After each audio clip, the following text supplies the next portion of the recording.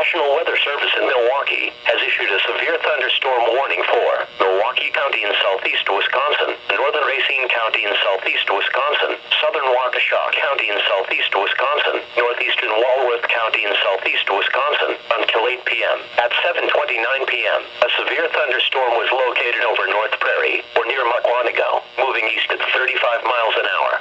Hazard, 60 miles an hour wind gusts and quarter-size hail. Source, radar indicated. Impact: hail damage to vehicles is expected.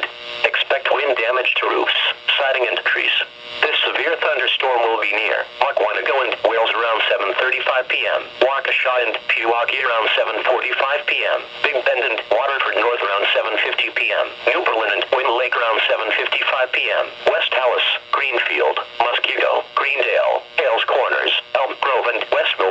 around 8 p.m. Other locations impacted by the severe thunderstorm include Franklin, Milwaukee South Shore Park, Milwaukee Kazoo, Milwaukee, Genesee, Maier Festival Park, Eagle, Miller Park, Mitchell Park Domes, and Caledonia.